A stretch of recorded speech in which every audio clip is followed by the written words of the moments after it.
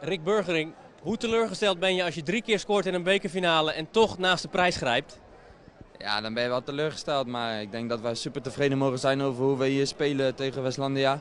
En daarnaast voor mezelf, ja, als spits moet je doelpunten maken. En als je in zo'n wedstrijd met zoveel mensen kan laten zien door drie doelpunten, dan uh, stap ik wel als tevreden man het veld af. Hoe heb jij die wedstrijd beleefd?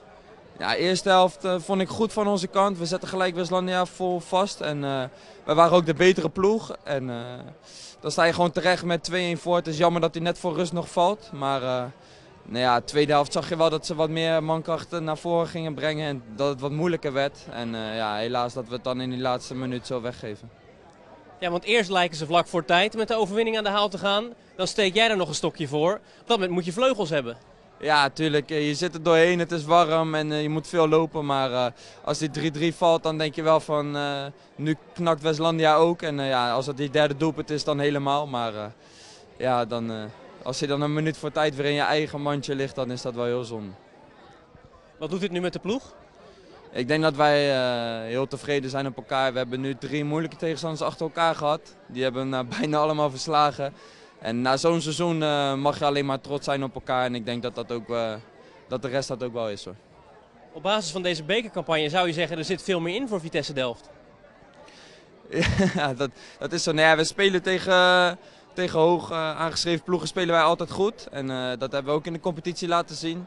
Alleen we moeten wat constanter worden, ook tegen de ploegen die vaak onder ons staan. Daar denken we soms misschien nog wat te makkelijk over.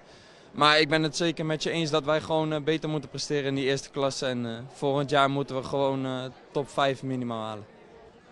En jij zelf, heb jij je hiermee in de kijker gespeeld?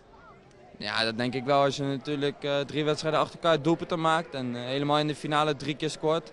Dan denk ik wel dat je jezelf in de kijker zet. Maar dat komt ook door mijn teamgenoten die maar goed in stelling brengen. En met name bijvoorbeeld die laatste goal, Sander weet dat hij hem door moet koppen. En ja, weet je, ik ik doe mijn best om zoveel mogelijk doelpunten te maken en vandaag ging dat wel aardig. Wat zijn jouw ambities? Mijn ambities zijn uiteraard om zo hoog mogelijk te spelen. Maar daarnaast vind ik het ook heel belangrijk om het naar mijn zin te hebben en dan, dan presteer je ook beter. Uh, nu zit ik heel erg goed op mijn plek bij Vitesse en uh, volgend jaar ga ik daar ook nog aan de slag en uh, wie weet wat er daarna komt. Tot slot, zilver met een gouden randje? Jawel, voor mij wel.